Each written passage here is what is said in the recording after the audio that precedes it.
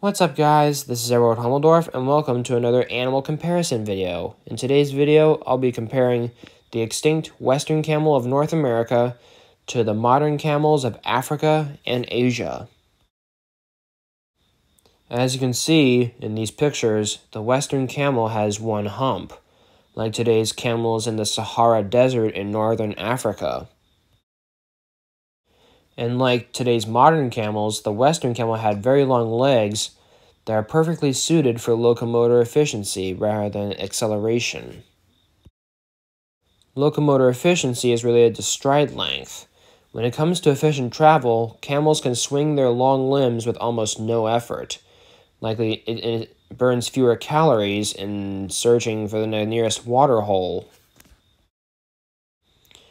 When it comes to locomotor efficiency, the camels can do can cruise very fast, but but well, while not running, obviously.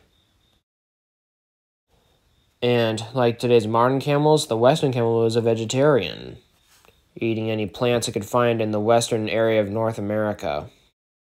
In the next video, I'll be comparing the extinct western horse to that of the modern horses.